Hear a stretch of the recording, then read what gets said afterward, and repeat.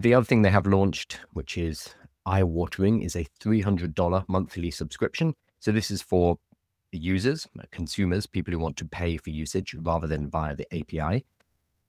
We've seen high cost subscriptions before. We've got the $200 a month with ChatGPT. We've got the $200 a month max with Claude. And we have a Gemini $200 a month. The $200 a month has so far been the kind of the standard. You either have three, you have $20 a month, and you have $200 a month. That's been the model so far. But XAI have said, no, we're not going to do that. It's $300. We'll see how it goes. Maybe people will pay this. This is for Super Grok Heavy quite a name, isn't it? You couldn't just go with Pro or Premium, Super Grok Heavy. So it is, yep, $300 a month. I'm not quite sure you get with it. I assume just higher limitations. I used it on my Grok app. You can try out Super Grok, or you can, sorry, you can try out the heavy mode. I didn't notice anything that much different.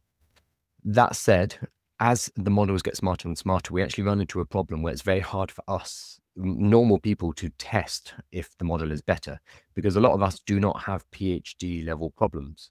We have problems that, hey, can you help me write this email better? Or can you give me some feedback on my newsletter? All of the models are really good at that. So increasingly, that testing is being done at the top, top range for problems that are not problems most of us have. So this does bring up questions of who is this for? $300 a month the same question was already being asked with the $200 a month ChatGPT. That I use AI every single day. This is my job. This is, I teach people how to use it. I have used the $200 a month subscriptions to kick the tire, find out why they're useful, and to be able to recommend them to people.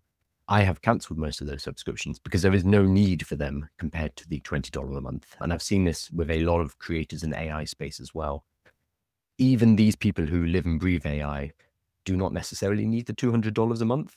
So I doubt we need a $300 a month XAI Grok subscription. I might be wrong. Maybe there's some super users who need this. I don't see the need for it.